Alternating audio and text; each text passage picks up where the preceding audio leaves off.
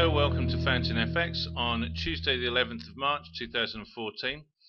Looking at the Euro US dollar on the 60 minute chart, we can see that uh, since yesterday, price has been steadily declining, pulling back.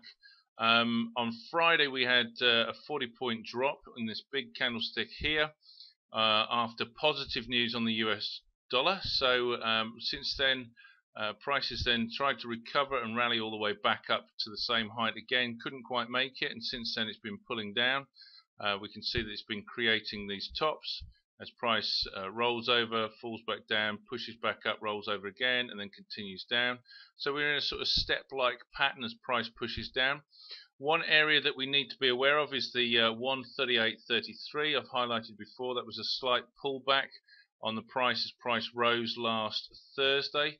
And um, once price breaks through below that, as you can see, I've highlighted in a big yellow uh, elliptic here, is that we've got a gap. So we've got a gap from the 138.33 all the way down to the 137.40, uh, just under 100 points gap. So if this area of support here doesn't hold today, we can look to to uh, potentially hope that price will fall all the way down to the 137.40.